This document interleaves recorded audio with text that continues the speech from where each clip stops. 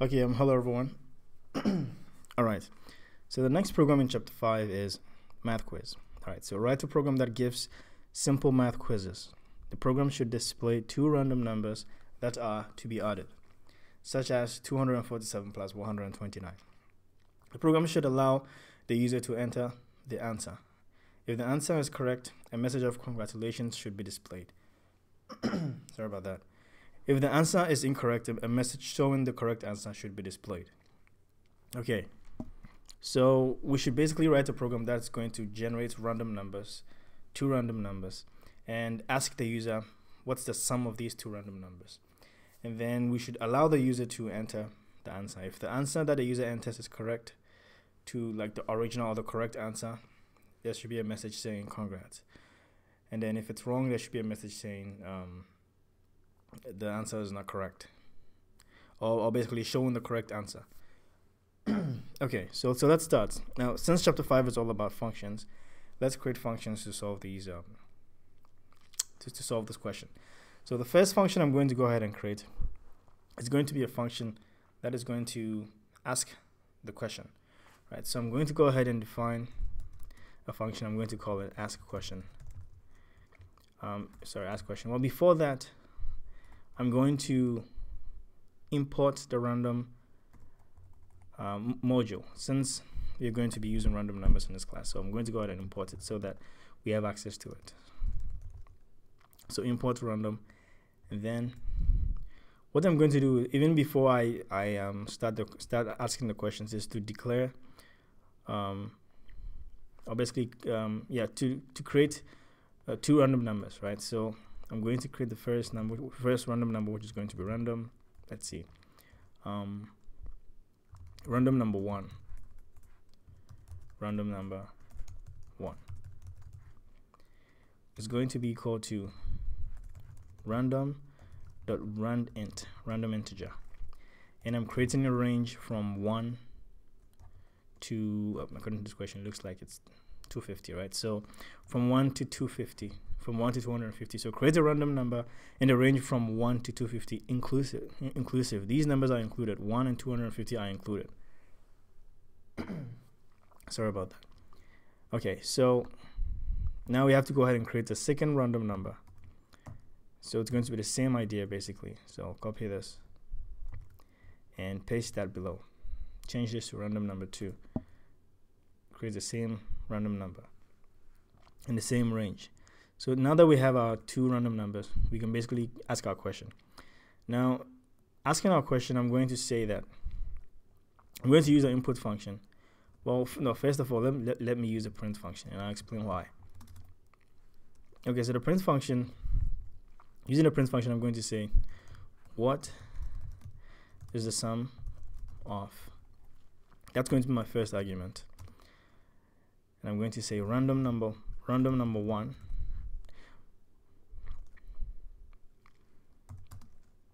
Okay. And then I'm going to say oh basically what is I'll just I'll just change this to what is and I'll change this will be this will be the, the first number. And then the third argument is going to be plus.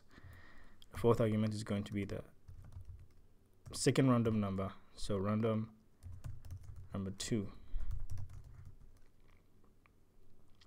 now the thing is in this in this function um, in this function we wouldn't have access to the the, these two random numbers. This function doesn't know what these two random numbers are. But the thing is, they are, they are declared outside the, the function. They are declared in the global scope. yeah, they are, de they are declared in the global scope, but we, we can refer to them using the global keyword and say, okay, although you don't know what these are, I'm referring to the, the these variables declared outside of the outside of the function.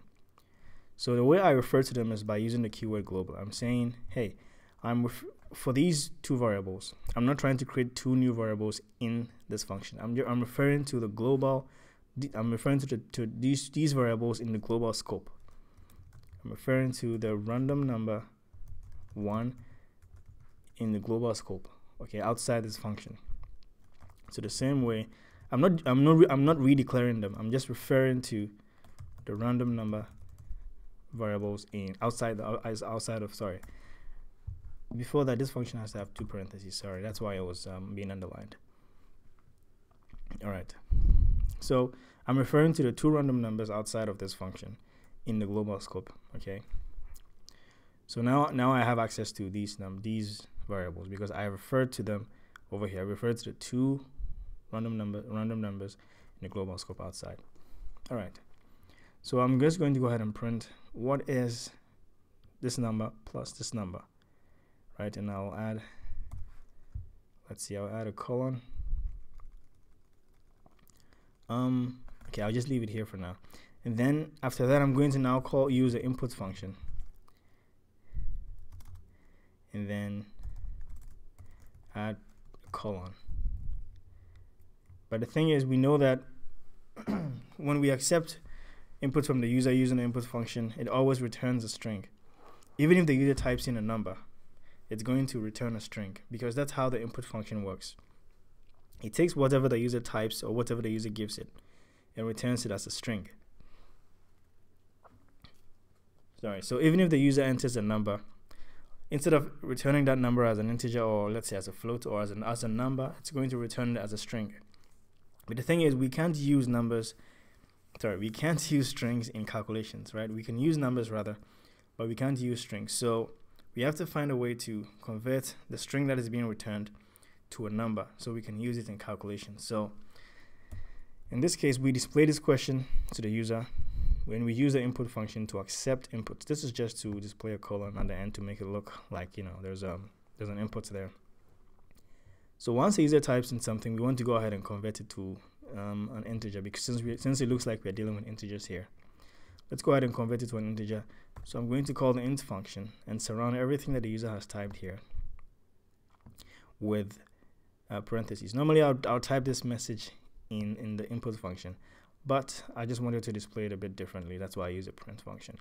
Um, we can go ahead and basically copy this and paste it here. We'd have to convert these to a string or this to a string but um, um, okay we can actually do that.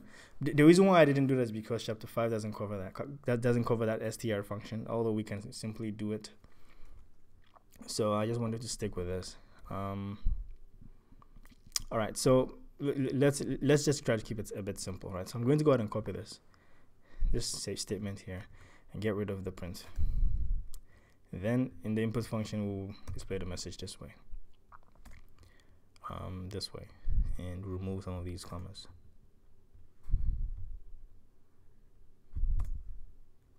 So what is, and I'm going to concatenate with the random number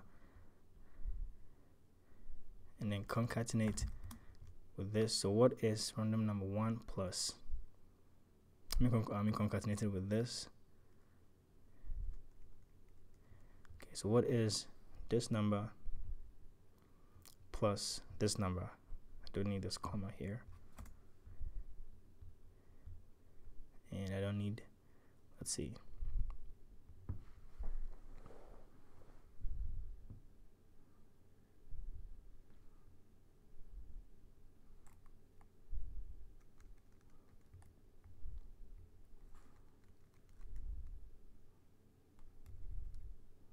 Okay, um, let's just get rid of all that. All right.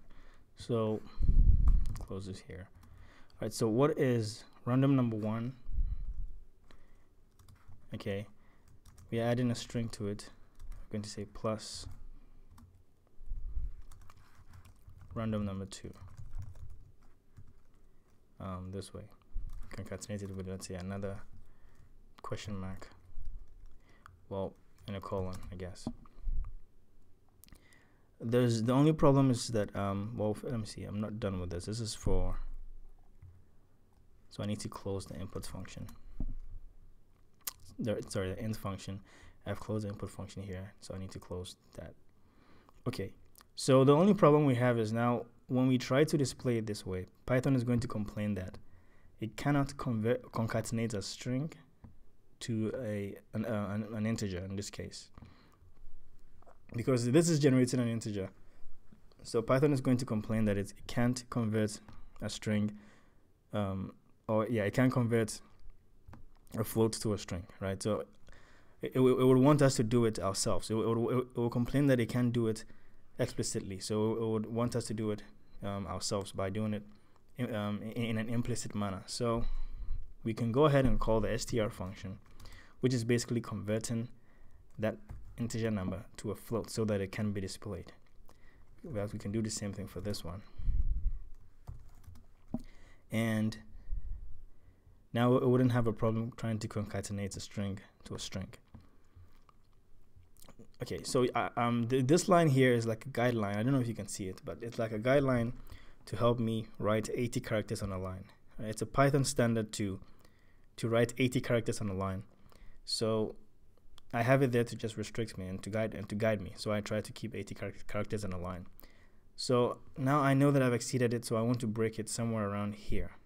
What I'm going to do is to just type in a backslash. Before you break any line in Python, you type backslash and hit enter.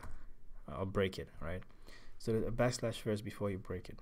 And then now we should be fine. Let's go ahead and create a main method, right? A main function. The main function is the function that you should run anytime, or it's the first function that you should run anytime you're, run, you're running your program. That is your starting point. That is the function that calls every other function. So it's it's your it's your main your main function. Okay, in most programs, the main function is the function that runs automatically when you run your program. So that should be your main function where you run all your programs. Okay, so in the main function, that um, um, that's why I'm going to write my program. And that's why I'm going to call all my functions. Uh, let's just test out the ask, ask question um, function. So I'm just going to go ahead and just call it. I'm going to call the ask question function. Um, nothing is going to happen when I run it because I've only defined main, but I haven't called it. I have to call it for something to happen. So I've called it over here now. Let's run it and see what's what's going to happen. Let's save this file where I save the Python programs. I'm going to create a new folder on in there. I'm going to call it math quiz. And I'm going to save this also as math quiz